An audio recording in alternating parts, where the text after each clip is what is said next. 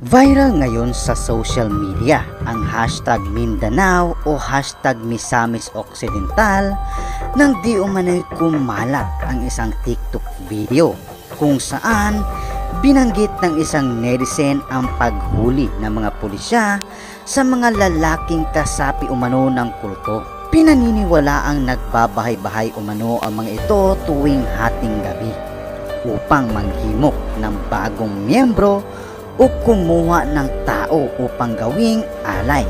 Naaresto ang dalawang lalaki na hindi pa pinangalanan na umano'y kasapi ng kulto sa naturang lugar. Sa ilang post sa Twitter account ng isang netizen, makikita umano ang mga kagamitang ginamit ng isang grupo na may mga nakasulat o inukitan umano ng hindi maunawa ang salita o simbolo.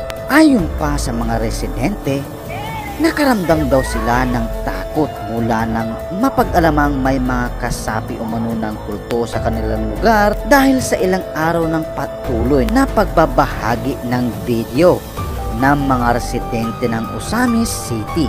At ito daw ay iniimbestigahan na ng mga pulisya.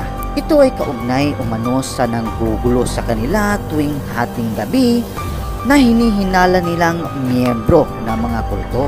Maraming video ang lumalabas sa social media na nagtutulot ng pangamba lalo na sa mga taga-roon. Samantala isa umanong TikTok user ang nagpahayag sa wikang Tagalog nang nagaganap sa kumakalat na video at humihingi sila ng tulong. Ayon pa kay Paul Mark, nahuli na ang ilan sa mga miyembro ng kulto. Bukod sa armado daw ang mga ito, makikita din sa kanila ang mga karakter na nakasulat o iginuhit at lalong nagbigay ito ng pangamba sa marami. Narito po ang buong video. Isa rin po ako sa mga taga Mindanao and uh, yung issue ngayon na nangyayari or umiiral po ngayon is uh, yung about sa kulto. Yes po, nangyayari po yan talaga sa Mindanao. Ang sa pagkakaalam ko ho is uh, yung mga miyembro ng kulto is aatake yan sila tuwing gabi. Kakatok yan sila sa mga pintuan ng mga bahay ninyo hanggang sa may makarinig at ma-open yung door ninyo. Pero please, do not open your door.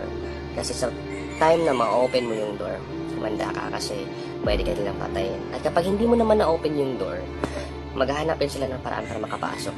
Aakyatan sila ng bahay at saka hahanap sila ng paraan para pasukin ka. So, time na makakapasok sila, yun na, pwede ka nilang patayin kasi pwede nila, gagawin kang alay eh, sa yung pinakamataas nila. So please, konting ingat lang po mga taga Mindanao, hindi po yung joke. Gusto ko lang din pong linawin na tuwing gabi po sila umaatake. At ilan sa mga nangangatok ng bahay tuwing gabi ay nahuli na po. At alam nyo ba kung ano yung mga nakuha ng pulisya sa kanila? So, ayan po yung ilan sa mga nahuli na kumakatok sa mga pintuan tuwing gabi.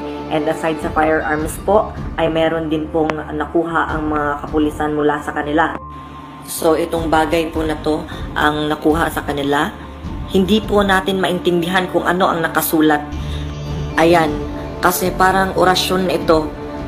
At mapabata at matanda po ay takot na takot sa mga nangyayari sa kasalukuyan sa aming probinsya.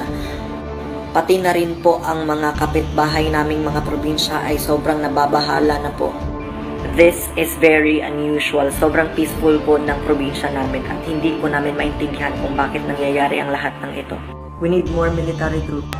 Katatapos ko lamang po maligo at meron po akong ipapabasa sa inyo. So, ayon sa mga nakakita nito doon sa Annex Ozami City at around 11 p.m., hindi daw naabutan ng nag-record ng video yung nilalang na nakita nila but base sa mga nakita nila ang mata nito ay maihalin tulad mo sa mata ng pusa. Nakasuot ito ng itim na damit at yung height nito ay nasa 5'6 to 5'7 hindi ito nadakip at hindi rin ito nakilala pero ayun nga, marami sa mga tao doon ang nakikita kung ano yung forma at ano yung uh, kilos na nang nilalang na kanilang nakita kasi uh, ayon din sa kanila para din itong uh, palaka kung ito ay tumatalon. So hindi rin daw ito basta-basta nadadakip kasi ang bilis po maglaho. Ano naman ang masasabi mo hinggil sa usaping ito? Huwag kalimutang mag-like, mag-subscribe, and mag-comments down below.